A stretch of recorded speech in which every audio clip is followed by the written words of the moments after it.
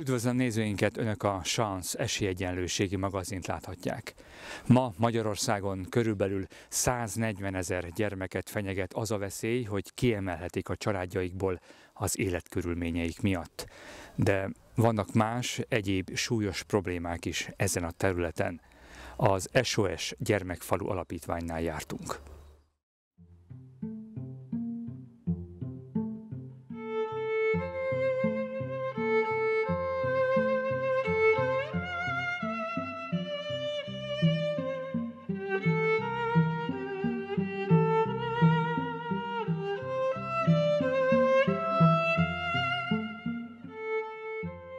SOS Alapítvány 86-ban jött létre, bár akkor még egyesületi formában, és egy olyan 15. éve vagyunk a kerületben, a 9. kerületben, korábban más telephelyeken vagy más székhelyen működtünk, de 9. éve a Lónyai utcában, illetve itt a Boráros téren, előbb a Angyal utcába, aztán amióta azt lerombolták, azóta átköltöztünk ide a Soroksári útnak erre az oldalára milyen küldetéssel bírtok? Uh-huh.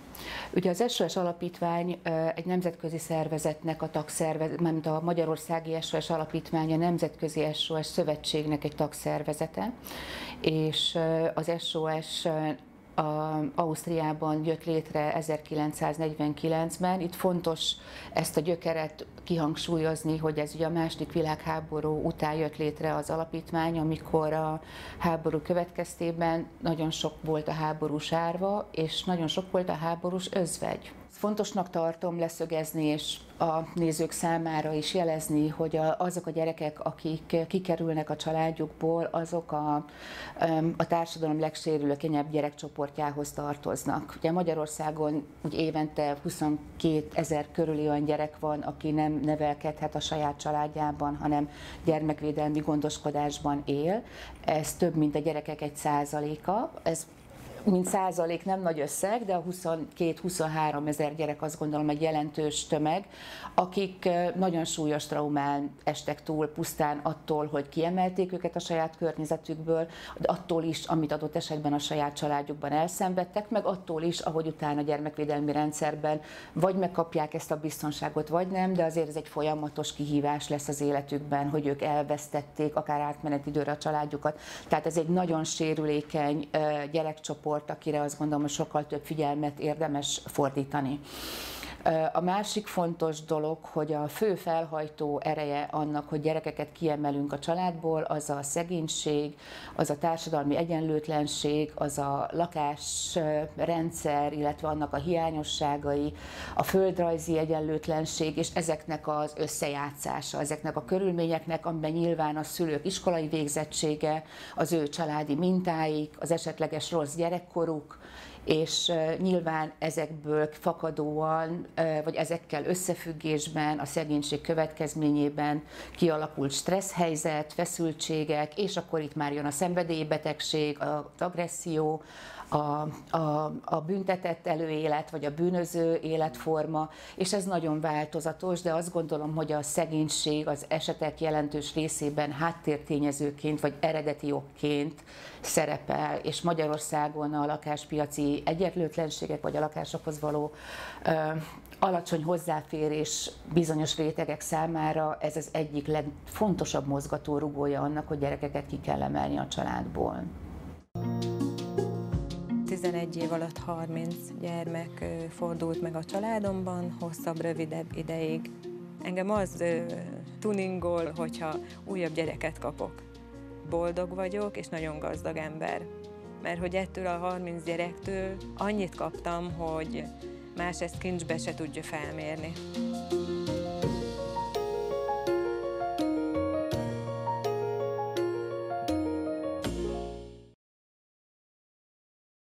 Fontos megkülönböztetni, amit mondtál, hogy sok az örökbefogadni szándékozó család, tehát sok olyan család van, akiknek nem lehet egy gyereke és szeretnének gyerekeket, de ők nem nevelőszülőként szeretnék a gyerekeket, hanem örökbe szeretnék a gyerekeket. Tehát az egy, az egy teljesen más vállalás, és ezt nagyon fontos látni. Tehát akik örökbe akarnak fogadni gyereket, ők tényleg a sajátjuk helyett, vagy a sajátjuk mellé fogadnának örökbe karitatív szándékból gyereket, de és ilyen örökbefogadó szülőből sokkal több van, mint olyan gyerekből, aki örökbe adható. Mert ugyanis, hogyha a szülő tartja a kapcsolatot a gyerekével, és van benne még vágy arra, hogy esetleg visszakapja a gyerekét, akkor az a gyerek nem örökbeadható. Tehát örökbeadni csak azt a gyereket lehet, akit a szülője hosszabb ideig nem látogat, vagy ahol a bíróság kimondja, vagy egy álmhivatal kimondja, hogy oda már nem gondozható vissza a gyerek, tehát lemondanak. De hogy mondjam, tehát egy megcsúszott családi helyzetben, egy kritikus élethelyzetben, tehát a szülők nagy többsége nem akar lemondani a gyerekéről, hanem reménykedik abban, hogy visszakaphatja.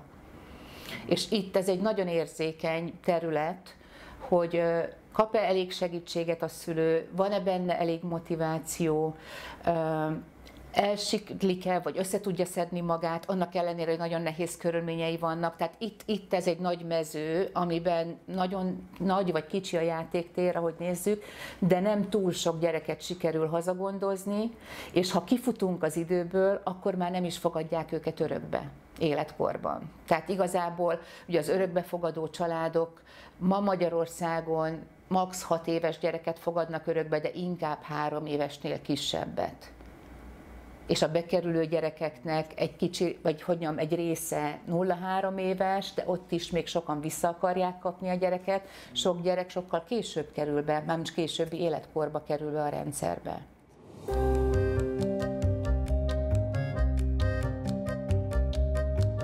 Pesten tanulok egyetemen, és kollégista vagyok, és hétvégente általában, ha van időm és ha nincs programom, akkor haza szoktam menni a családomhoz az ifjúsági házba, és most olyan pillanatban arra felé tartunk Kecskemétre.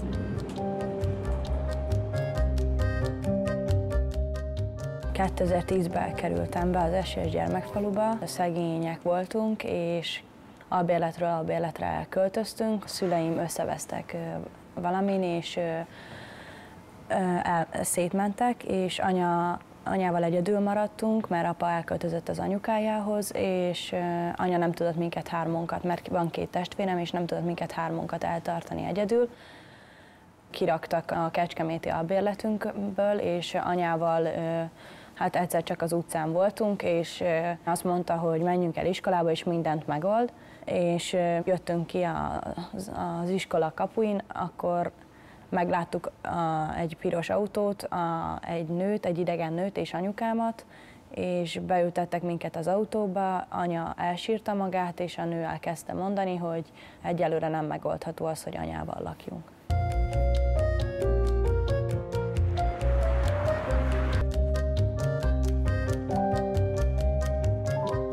Felhajtó ereje a gyermekvédelembe való bekerülésnek az a szegénység. Ugye tudjuk nagyon jól, hogy a, a cigány közösség vagy a roma közösség jelentősebb része, tehát a, a, hogyan az átlaghoz képest sokkal nagyobb része él szegénységben, és, és tulajdonképpen a rendszerváltás óta egyre rosszabb körülmények között.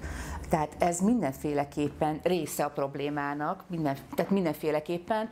Azt gondolom, hogy ez változó, tehát talán a 90-es évek óta valamennyire változott ez a történet, tehát ugye a 90-es években volt egy olyan kezdeményezés a gyerekvédelemben, hogy keressünk roma nevelőszülőket, ugye ami nagyon fontos, hogy, hogy mert hogy valóban volt egy ilyen probléma, és mindig is van ilyen probléma, hogy hogy azért mégiscsak egy roma család jobban érti azt a identitás nehézséget, amivel a cigány gyerekeknek, vagy roma származású gyerekeknek meg kell küzdenie.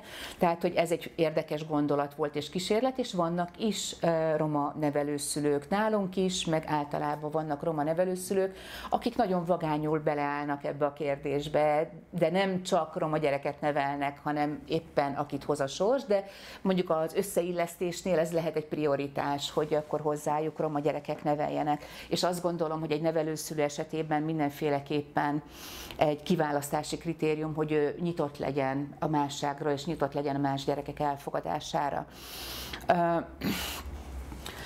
Tehát azt gondolom, hogy ma már mm, hogy is mondjam, inkább ez csak egy ilyen minőségi kritérium. Azt gondolom, hogy nagyon sok nevelőszülő jól tud bánni ezzel a kérdéssel, vannak nevelőszülők, akik kevésbé jól tudnak ezzel a kérdéssel bánni, mint hogy a társadalom is különböző féleképpen tud ezzel bánni, és és azért azt gondolom, hogy még mindig ritka az a nevelőszülő, vagy kevesebb az a nevelőszülő, aki, aki végig jól tudja csinálni ezt a dolgot, és mondjuk abban is tud segíteni egy, egy roma és állami gondozott fiatalnak, hogy ő vissza tudjon illeszkedni egészségesen a társadalomban, mert nem biztos, hogy az identitás kérdés minden aspektusát, vagy a hétköznapi rasszizmusból fakadó hátrányokat mindenki jól tudja kezelni, és hogy valószínű erre sokkal több programot kellene kiegészítésképpen még csatolni a nevelőszülők munkájához.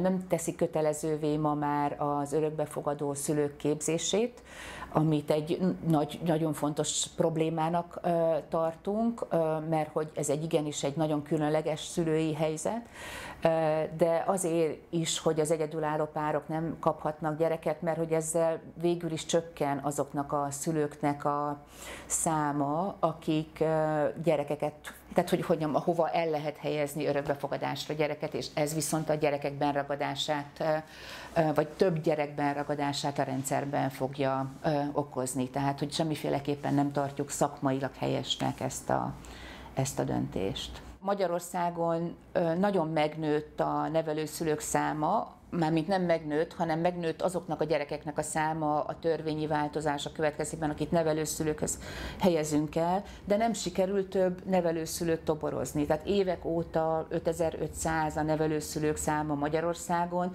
és az összes törvényi lehetőség, tehát a foglalkoztatási jogviszony, vagy bármi nem növelte effektíve a nevelőszülők számát. Viszont nőtt a jogszabály miatt azoknak a gyerekeknek a száma, akik nevelőszülődél vannak elhelyezve.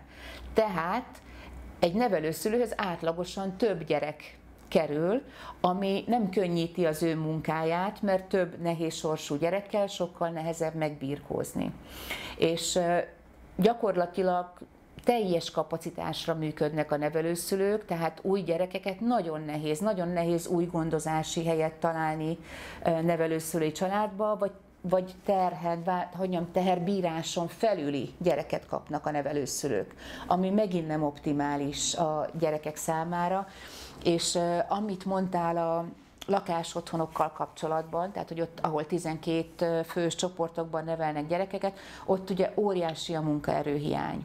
Tehát mint ahogy nevelőszülőben is óriási hiány van, de gyakorlatilag a gyerekotthonokban, ezen belül lakásotthonokban a legnehezebb munkaerőt találni, és gyakorlatilag non-stop munkaerőhiányjal küzdenek ezek az intézmények. És itt mindenféleképpen pénzügyi megbecsülésre, meg egyéb megbecsülésre lenne szükség, és arra, hogy, hogy ne ilyen szigorú váltásban kevés ember legyen, aki vigyáz ezekre a gyerekekre, hanem sokkal nagyobb kapacitást kellene, tehát lényegesen növelni kellene a vonzerejét és azt a kapacitást ennek a szakmának, és azt a kapacitást, hogy a gyerekek rendelkezésére áll. Itt olyan gyerekekről van szó, akik nagyon súlyos traumát éltek át. Mindegyik őjük. Ha csak azt nézzük, hogy a gyereket három vagy nyolc évesen kiemeltek a családjából. Ez önmagában egy trauma, de ezen kívül öt értéktraumák előtte, meg érik traumák attól a bizonytalanságtól, amiben bekerült. Tehát ezért is ez a legsérülékenyebb csoportja a gyerekeknek, és az ő ellátásuk az nem kevés állami, állami pénzben, de messze nem elég arra, amire ezeknek a gyerekeknek szüksége lenne. Tehát, hogy itt hogyan a, az állami gondoskodásban lévő gyerekek aránya nemzetközi szinten is látjuk, hogy ötszöröse a mentális problémáknak ebben a populációban, mint az átlag populációban. És ahhoz képest sokkal kevesebb extra segítséget kapnak pszichológiai tanácsadásban, fejlesztésben, tehát itt, itt nagyon sok minden pluszt kellene még a gyerekeknek hozzáadni ahhoz, hogy, hogy begyógyuljanak a semmeik, hogy ezt feldolgozzák, és hogy folyamatosan együtt tudjanak élni a múltjukkal.